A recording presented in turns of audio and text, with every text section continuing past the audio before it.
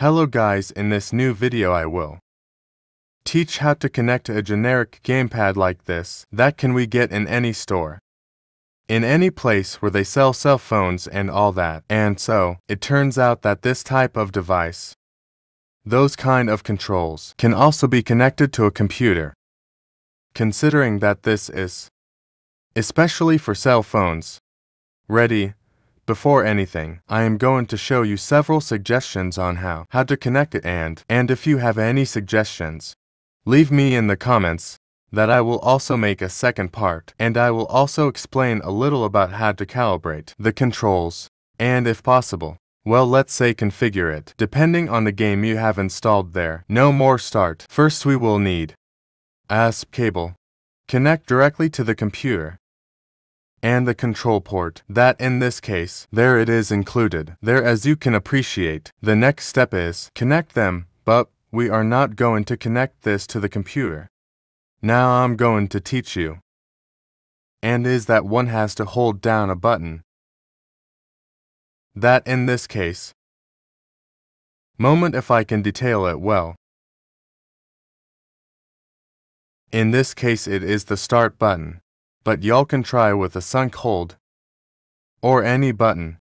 That in this case I hold down the start button I connect. We connect our PC. And it already detects us, so we must wait for the drivers to be installed. And all that is not required to install a program of more. Our next step if we want to configure our control, let's say in the most calibrated way possible, we will have to enter to control panel Search for Jugos o Buscamos Dispositivos. Games or search for devices. USB device setup. A moment that from there I can detail them. There as you can appreciate. This is the name of that said function, we give it here. It is possible that suddenly, do not appear to us. So there it already detected us automatically.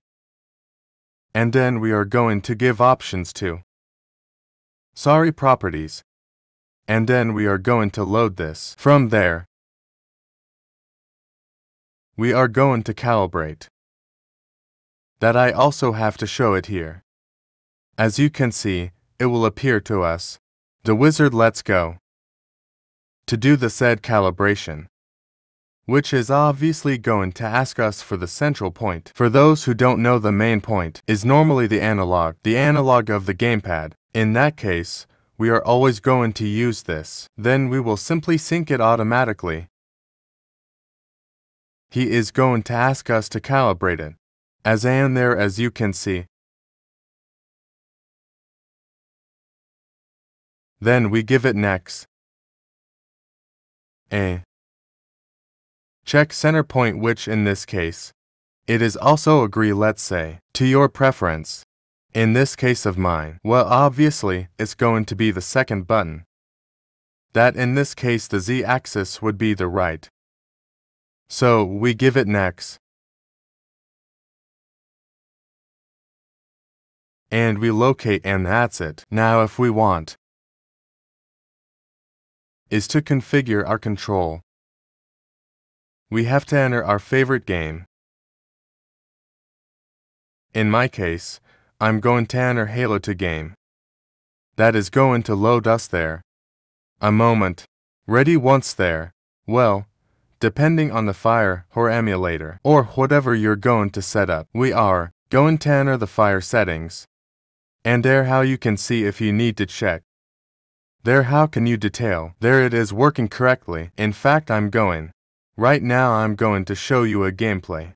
So, from there we will enter the part where it says, Player well in the case of Halo 2 bud itself.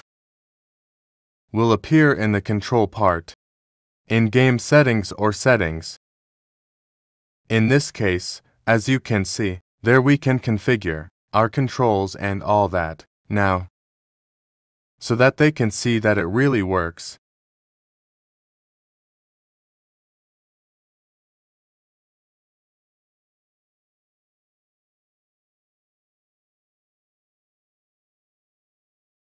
There as you can see,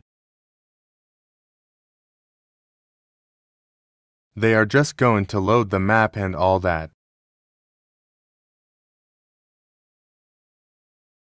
So that they catch. Actually everything works. Yes, let's change weapons. There I am sinking the triggers so that they get caught. And then nothing. If you liked the video, for any reason or if it helped you, give me a powerful like as you can see. Otherwise you can subscribe. Leave me in the comments if you have any new suggestion, and see you for the next one.